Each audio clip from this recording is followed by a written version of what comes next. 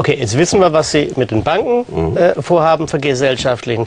Äh, ein bisschen genauer würde ich es trotzdem wissen, was am Ende das Ziel sein soll. Wollen Sie jetzt die Marktwirtschaft reformieren oder wollen Sie eine Systemänderung, eine komplett andere Gesellschaft?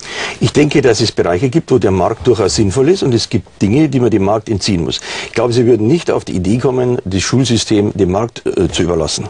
Wir sind aber schon dabei, dass wir zum Beispiel das Gesundheitswesen dem Markt überlassen.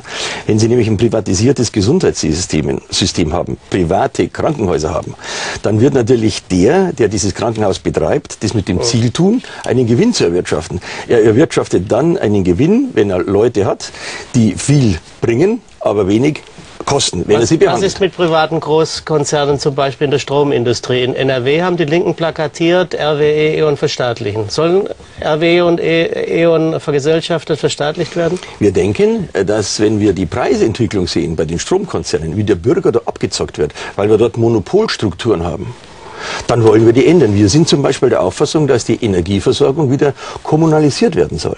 Dass die Bürger wieder ihre Energie haben sollen.